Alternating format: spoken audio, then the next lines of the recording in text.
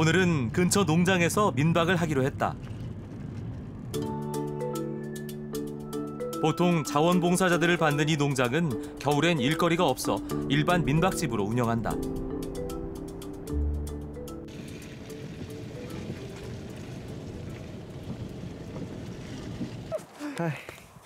Hello. Hello, nice to meet you. 주인 아주머니가 반갑게 맞아준다.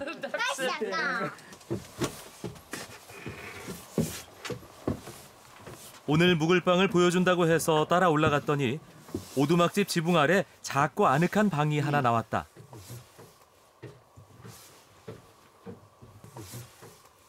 춥지 않을까 걱정됐지만 그렇지 않단다. Kui vaata külmaks läheb hommikul, siis sööd jäävad sinna sisse ja siis paned paar halgu juurde ja jälle põleb.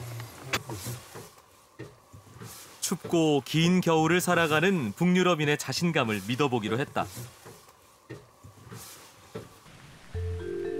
이곳엔 100년이 넘은 사우나가 있다. 요즘은 잘 볼 수 없는 에스토니아식 전통 스모크 사우나다. 온도를 올리려면 4시간이나 걸린다고 한다. 아무리 작은 집에 살아도 사우나는 반드시 만든다는 에스토니아인들. 사우나 사랑이 대단하다.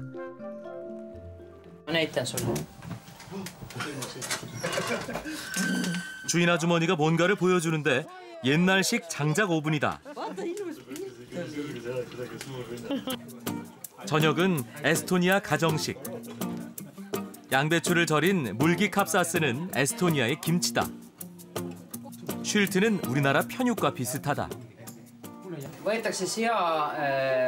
Äh, üks sea kõrvali, seajalad äh, võetakse vahtera ja siis äh, üks kuus tundi tahab ta vaikse tule peal niimoodi minna. 블러드 소시지는 에스토니아 사람들이 크리스마스에 꼭 먹는 음식이다. 돼지 피를 넣어 속을 만드는데 꼭 우리나라 순대 같다. 맛도 거의 비슷하다. 그 익숙함이 반가웠다. Basically, in the middle of the winter, uh, they killed animals and they had the blood. And blood is good in food because it has iron in it. 북유럽에서 이토록 한국적인 음식을 만날 줄 몰랐는데 덕분에 든든하게 배를 채웠다.